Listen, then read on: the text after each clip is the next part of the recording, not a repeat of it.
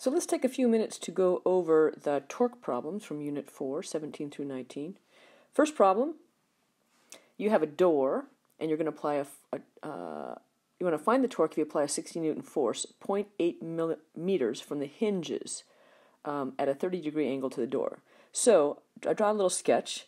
Uh, the little red dot represents the hinge and then the purple line represents the door. So you're going to push on the door an angle of 30 degrees with the door.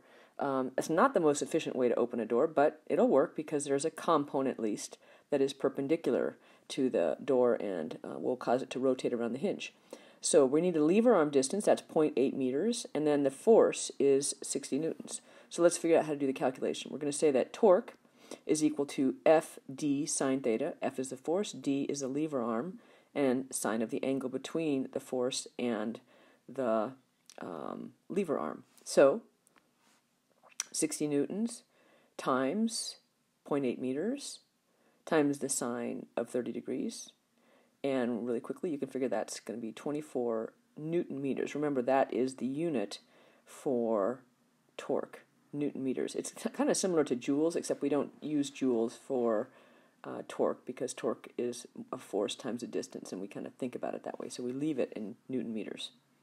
Okay, number 18. In number 18, you have a bar, and it is it makes an angle. You have it like propped up in a corner, and it's it has an angle of 40 degrees with the vertical. And you know intuitively that if you were holding up that bar and you dropped it, it would fall. It would rotate down around that um, corner where the where the um, where the bar rests. So there's like a little hinge at the bottom. Um, what's going to make it fall? Well, gravity is going to make it fall. So the trick in this problem is understanding understanding how to account for the the force of gravity. And so what we do is if we have a nice uniform shape, which we do with this particular bar, we're going to assume that all of the weight is at the center of mass. And so symmetrically speaking, that would be at the center of the bar. So we apply the force, that Fg force, which is going to be your mg force, right? Is going to be applied at the center of mass of the bar. Um, the bar has a length of 1.2 meters, so that center of mass is going to be at one at 0.6 meters. so that gives us our lever arm. So torque is going to be Fd sine theta again. Uh, the force in this case is going to be an mg force. And then the lever arm is that distance to the center of mass. That's where the gravity is going to be acting, which is going to be 0.6 meters. And then the angle is 40 degrees. So um, m G times the lever arm and then times the sine of 40 degrees. So crank that out with the calculator and you find torque is 7.6, again, newton meters. Okay, last problem. Last problem. This is a spool problem or a cylinder problem.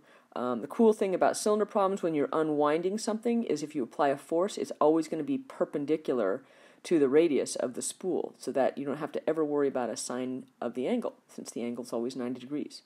So in this case, we have uh, the radius of the cylinder, we're told, is uh, 0.2 meters, um, and the force is 50 newtons. And so the question is, what is the torque that's going to cause that cylinder to rotate? So it's going to be FD sine theta. It's going to cause it to rotate around. We got a 90 degree angle, so we say 50 newtons times the radius times the sine of 90, which is 1. So that just becomes 50 newtons times 0.2 or 10 newton meters. Now, in the case of the drawing that I've drawn right here, um, the thing is going to be rotating in the clockwise direction, and that's true for the for the diagram above also. So technically, you might say that the torque is negative because we talk about a negative torque is one that rotates it around this way or clockwise, and then a positive torque would rotate it around this way. But because the problem wasn't specific, um, it doesn't tell you exactly which direction it was rotating. I wouldn't worry about the signs, uh, just worrying about the magnitudes. Okay.